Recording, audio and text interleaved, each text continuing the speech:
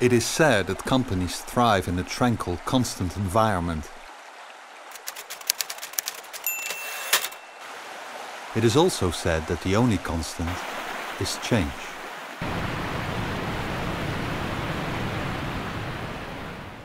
We believe that to make success sustainable, an organization must move with the current and have the ability to adapt. Organizations must be able to evolve.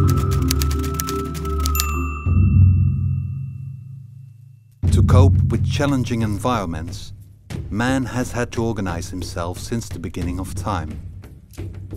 People formed close-knit communities, built around family relations and the rules of survival. A tribe depended on a powerful chief who enforced strict loyalty and ruled through strength and fear. Nowadays, we sometimes find tribal communities within a company. Formed by small teams and driven by strong dualistic belief in we versus them, they ignore or fight the outside world. They are focused on their way of doing things and as their relationships are emotional rather than functional, they are not scalable. In a changing environment, they rarely last. Well, okay, but still. Our story starts with the rise of early civilizations. Agriculture improved men's perception of the past, present and future. And through complex planning and bureaucracy, it became possible to carry out bigger projects and effectively organize large campaigns tribal ways became code of law, and authority was now based on a system of rules. People gathered around national symbols and in so doing entered a collective we stage. Power became institutionalized. In this world there was only one right way to do things. The divine ruler governed by the book. In these organizations, planning and execution are separated by rigid social stratification, and it's imperative that everyone knows their place in a highly hierarchical structure. And change is a threat. For thousands of years, all over the world, feudal systems have suppressed rebellion and revolt. And then, in Western Europe, in a blink of history's eye, it all fell apart. Although today there are still many bureaucratic organizations with a strong hierarchy, a new paradigm, powered by the Industrial Revolution and the wealth of the middle classes, had given birth to the efficiency-based organization. Theorized by Fayol in his Workplace Scientific Organization and implemented by Ford, companies were viewed as machines to be optimized. Humans were considered resources as replaceable as a cog, even the names of mental afflictions caused by exhaustion and anxiety were based on mechanics. People were tense, under pressure and stressed. Workplace scientific organization led to new theories. After Maslow and McGregor, Mintzberg and Drucker became the fathers of modern management, which focuses on strong transactional organizations with an emphasis on entrepreneurship and accountability only for results. These organizations are often found to be cold or heartless. And in the 1960s, the term human capital was coined. Rather than focusing on the mechanics of labor, human capital encapsulates all aspects of human productivity, including creativity, well-being and motivation.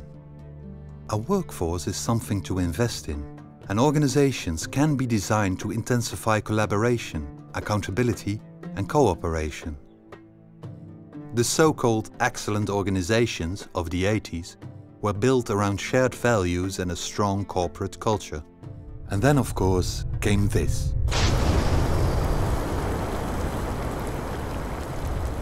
Hello, I'm Bill Gates, Chairman of Microsoft. In this video, you're going to see the future. Not only did Silicon Valley companies create a connected world, they also reinvented the workplace, breaking down barriers between teams, projects and geographies. They attracted people, millennials especially, by allowing them not only to play, but also to bring their personal values to work, giving them the opportunity to have a positive global impact.